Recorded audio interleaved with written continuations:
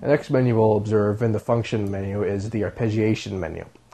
Um, arpeggiation is commonly referred to as ARPS in the digital music creation world. And uh, what it basically is is when it creates a, a, sequence of notes that go up or down or just basically does and then repeats itself a lot. That is what is referred to as an arpeggiation.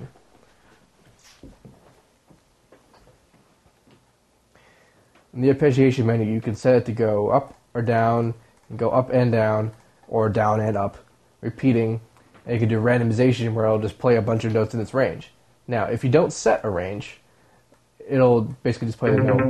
Play, it'll play the note over and over again. If you set the range, it'll play in octaves.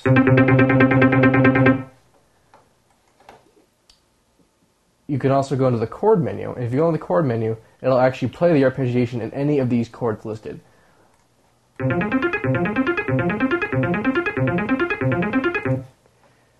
Can also set it to auto sustain, where if you go into the piano roll and set and set an arpeggi- a, a bunch of notes, it'll arpeggiate these notes.